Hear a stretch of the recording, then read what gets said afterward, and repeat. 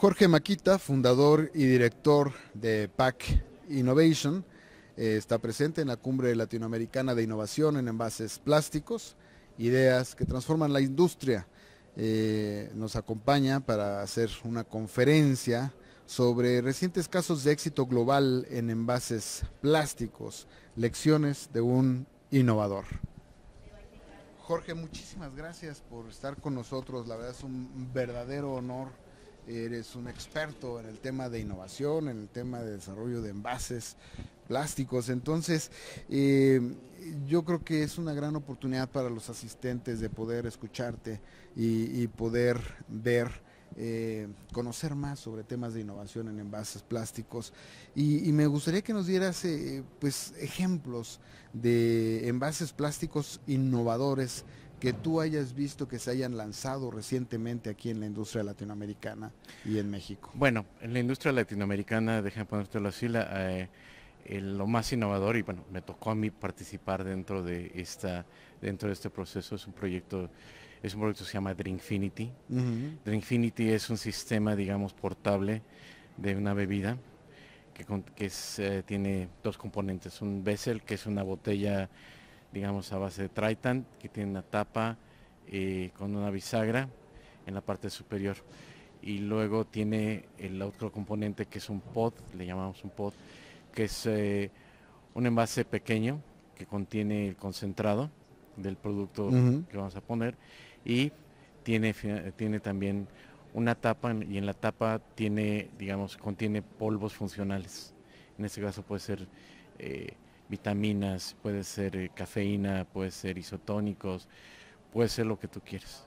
Estos, esta tapa y este, este pod, digamos, se sellan, ya, bueno, ya vienen sellados en la venta, se, colocan en el, en el vessel de manera invertida, que contiene ya agua, y en el momento que se hace la presión de la tapa del vessel, se rompe una membrana, se eh, digamos, se vierte el concentrado y el polvo dentro del agua que está dentro del vessel y se genera una bebida como tal. Uno lo agita y es una bebida como tal. Es un sistema, digamos, que, ha, rompido, ha roto paradigmas entre, eh, digamos, en, la industria del envase porque la primera es tener estos dos componentes no era posible. O sea, todo lo que hemos visto en, en los sistemas es que no hay, digamos, o era líquido o era sólido. O sea, en este caso podemos poner las dos, eh, los dos componentes dentro del pod. Y la otra es atiende a las necesidades de los consumidores actuales, o sea, la parte de personalización, la parte de portabilidad, incluso la parte ambiental, porque en lugar de tener una botella de PET que yo me deshago de ella cada rato, tengo un pod que es mucho más ligero y eso me permite ahorrar finalmente en la cantidad de PET y también en el transporte de líquido hacia el consumidor. Entonces estas innovaciones están tanto en función de los materiales empleados, obviamente las mismas eh, capacidades de los, eh, eh, de los envases o de los empaques y también la, capacidad de proveer o, contener distintos tipos de productos, incluso estos que nos comentas que podemos mezclar y tener una preparación instantánea.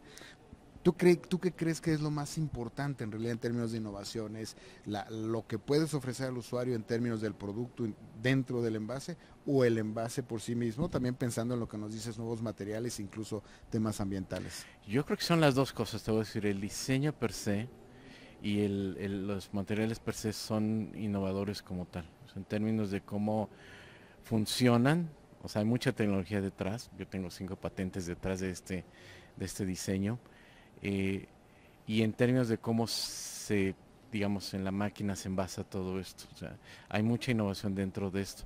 Pero lo más importante es todo este esfuerzo tecnológico que tiene una respuesta positiva con el consumidor. cuando se lanzó esto, se lanzó en Brasil hace un buen tiempo. Bueno, se lanzó en mercados de prueba y la, la, respuesta del mercado brasileño de los jóvenes fue contundente. O sea, a los jóvenes les encantaba el, el concepto, precisamente porque iba con su estilo de vida. Ok. Ahora, ¿qué tanto se está innovando realmente en México y en el resto de Latinoamérica? Yo te diría que hay, eh, digamos, hay innovación. Eh, el problema es, vamos a ponerlo así, tienes que entender que hay innovación disruptiva y, innovación acumulativa. Mm. La innovación acumulativa hay un montón, o sea, formas, tamaños, etiquetas, colores, hay un montón de todo y de eso se hace de eso hay un montón hay muchos en diseños de botellas hay diseños preciosos de botellas que se, hacen tanto en México como en Latinoamérica eh, diseños de etiqueta hay diseños muy vistosos y demás yo creo que la parte donde estamos eh, digamos más cortos en la parte de eh, innovación disruptiva. O sea cómo logras finalmente un breakthrough algo finalmente que permita a la compañía tener una ventaja competitiva contra el resto durante un buen tiempo, que mantengas finalmente esa ventaja con el resto. ¿Y ahí se requiere inversión o se requieren eh, procesos, se requiere gente con ideas? ¿Cuáles son los elementos que Mira, se requiere todo lo que dijiste en realidad y más. en realidad, una se, requiere una cultura dentro de las compañías.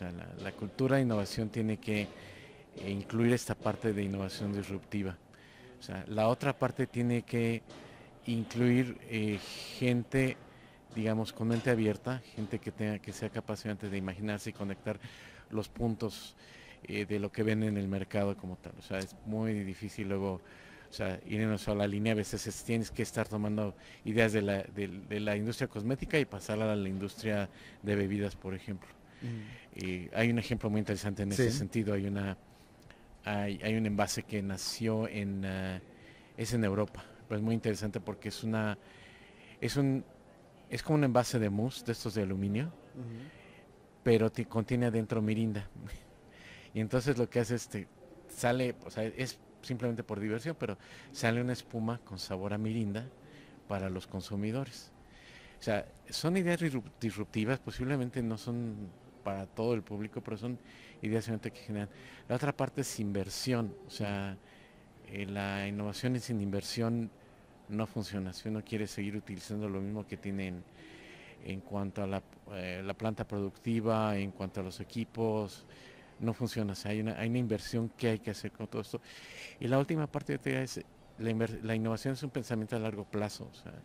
no es un pensamiento en el que voy a, o sea, trueno los dedos y aparece algo de por magia. La innovación es un proceso que lleva cierto tiempo para poder lograrse en las innovaciones en las que yo he trabajado se han llevado tres años más o menos en, realmente madurar y ya estar listas para ser lanzadas, pero eso nos permitió finalmente probar muchos conceptos y muchas cosas que no se dan, no se daban, este, digamos, eh, si hubiéramos definido que la innovación tenía que ser de seis meses. La innovación no es, no es un proceso corto, es un proceso a largo plazo, a largo plazo pero es un proceso que, digamos, eh, va acompañado con otros proyectos, o sea, la innovación no es un solo proyecto, es un pipeline. Si uno quiere finalmente ser exitoso en la industria, tiene que tener un pipeline de innovaciones que se vayan dando cada año, que tengan, que vayan de acuerdo a un plan estratégico, que vayan de acuerdo finalmente a una visión de la compañía en cuanto a los productos que quieren lanzar y desarrollar. ¿Estos eh, consideras lo que acabas de mencionar que son los valores esenciales de la innovación o tú crees que hay otros que... No, yo te, diría, son, yo te diría son los esenciales finalmente para lograr una innovación. La primera parte es que la cultura de innovación. O sea, voy a Hay que cambiar el chip de inicio. El chip de inicio y la mentalidad. O sea, normalmente... Eh, tú has oído la frase de esta gente se la pasa en prueba y error, por ejemplo. O la frase que viene del Apolo 13, eh, failure is not an option. y te dicen, o sea, nadie, nadie entiende finalmente que las fallas o las pruebas que tú haces finalmente sirven para un proceso de aprendizaje y que la gente a través de ese proceso de aprendizaje mejora finalmente el, proceso mismo y mejora lo, que estás lanzando en, lo que estás lanzando en el mercado. Esa es la parte que no está. O sea, la cultura de innovación es fundamental para que el resto de las cosas se den y tiene que, tiene que venir desde el top management. Y no nos enseñaron a fallar, ¿no? Todo lo contrario. Sí, o sea, tú lo ves en las eh, evaluaciones de desempeño, lo ves en, las críticas y demás, si fallaste estás mal, o sea, en realidad fallaste, acabas de aprender una forma diferente de, cómo no hacer las cosas y ya tienes que aprender una manera diferente de hacerlas. Pero además recolectas datos, recolectar datos es importante también durante estas llamadas fallas, o sea, la medida que tú colectas estos datos y aprendes qué sucedió, sabes finalmente qué puedes hacer. Claro.